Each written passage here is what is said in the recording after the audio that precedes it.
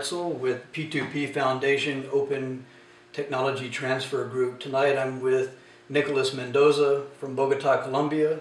He's an editor for Bitcoin Magazine. He's also published in Al Jazeera and some other uh, major international news media. Uh, his focus is on peer-to-peer -peer global media and emergent innovative projects. Tonight we're going to talk about Bitcoin and beyond. Uh, hi, Nicolas, How are you? How are you? Good. Well, welcome, and I'm happy to see you again. It's been a little while. Um, let's talk about a little bit of your background, uh, your college in Bogota and then in uh, Australia, and then we'll move on to some of the more interesting technology. Um, yeah. Okay. So basically, I got um, I got a um, uh, double double career in Colombia as uh, in architecture and fine art. Uh, and very early on, I got interested in uh, computer art and video art, and um, I uh, subsequently started working uh, more in, in those kind of topics uh, related with technology and communication rather than architecture.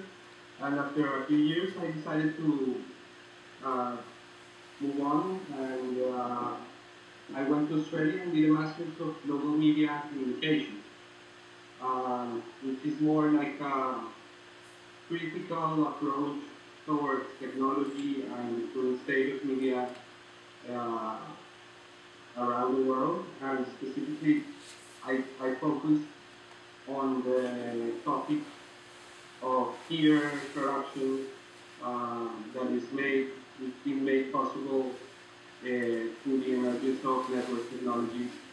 Um, it, it, it, has changed a lot of things, and many things have become possible uh, through the network. And um, I am very interested in, in topics uh, related to the economics of, of how these processes take place. And actually, uh, it was through this uh, process of research that I got in touch with Michel Bauwens and the P2P Foundation.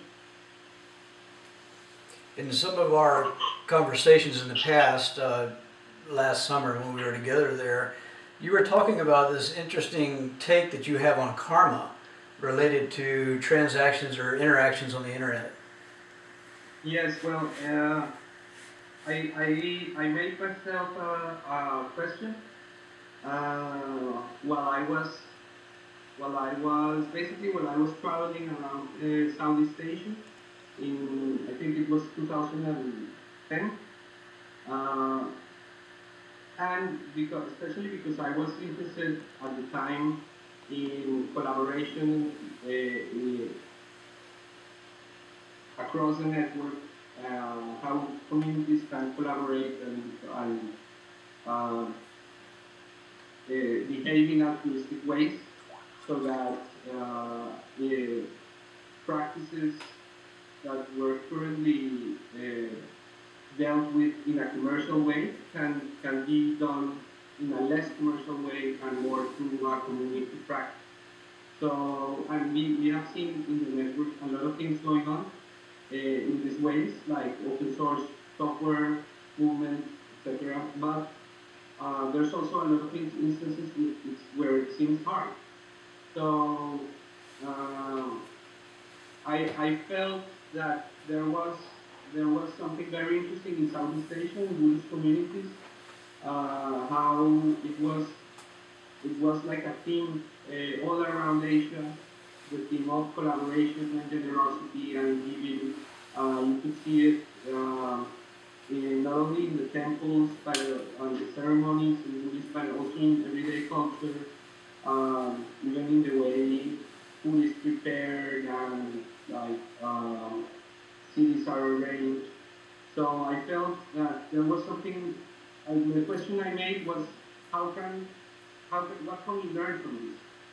and um, I, I, well, I did my master's thesis about that. I found some like basic principles uh, got out and finalized my thesis with a lot of questions about it. But um, basically, I found I also realized something really interesting is that um, in in the network, in, in digital digital technologies have um, have on themselves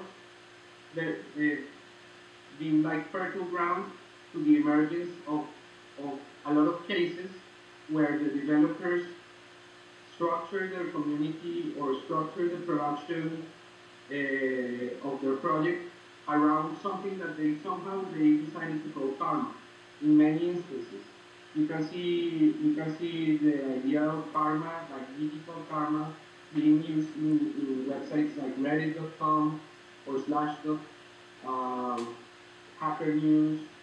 And it's interesting also that these are like uh, communities that are created for and by very technical people. Like, so it seems like it's something like very closely connected in a way to, to internet culture, the idea of karma.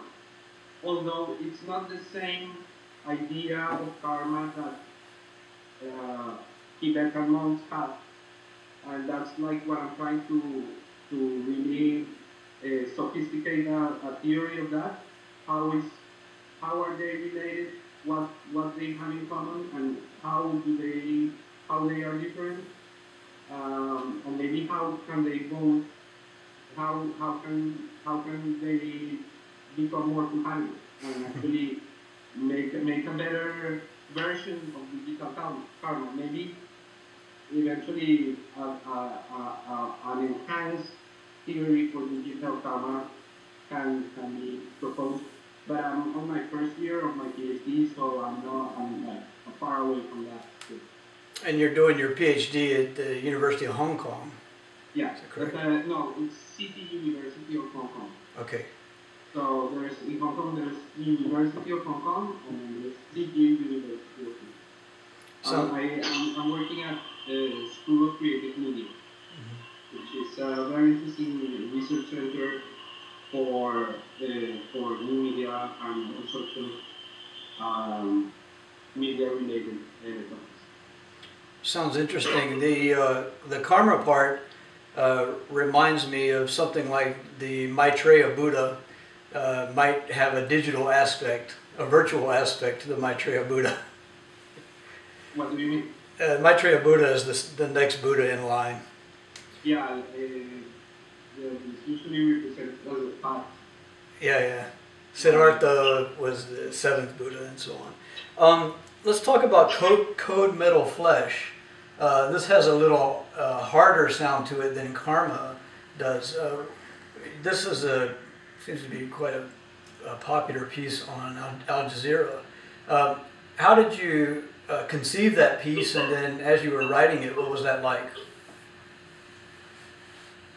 Uh, how did I conceive it? I, I don't know. I, I was there um, trying to trying to understand um, all the different uh, actors that come into play uh, in, in, in, in the network or in networks in general and trying to yeah trying to um, actually make sense for myself or what was going on.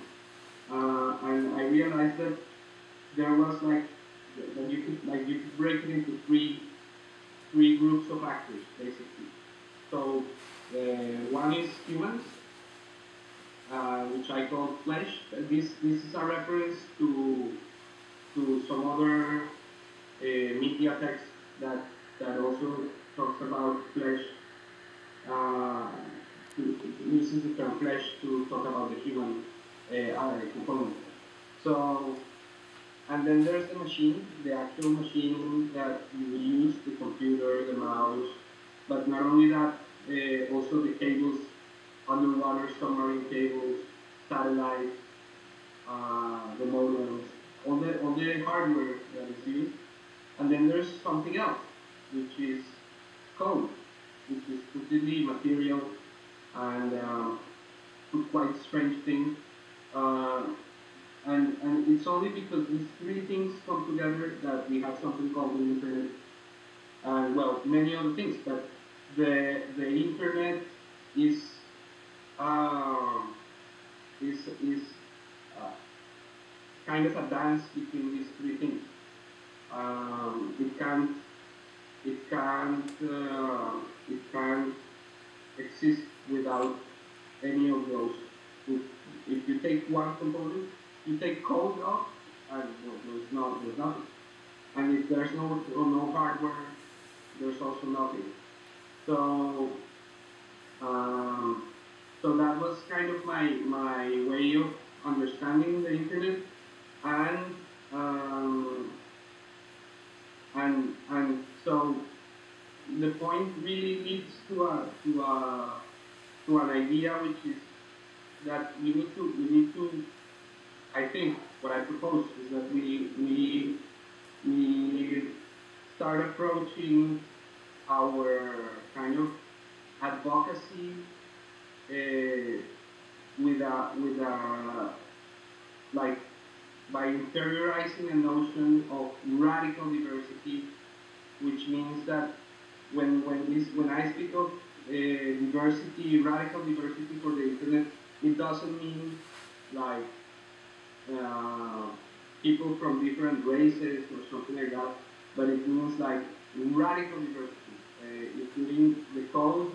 and the, and the metal, the machine itself, uh, as one more actor that needs to be uh, listened to. You need to listen to the to what um, to what these other actors say, so that we can actually create a network that is healthy. That's um, that's more or less the, the, the, the proposal, and therefore um, the idea was to to start thinking about the possibility of uh, internet rights, that in the sense of even uh, the network itself should have some rights so that uh, no uh, no, politi- no political uh, force can should be able to to attack those rights.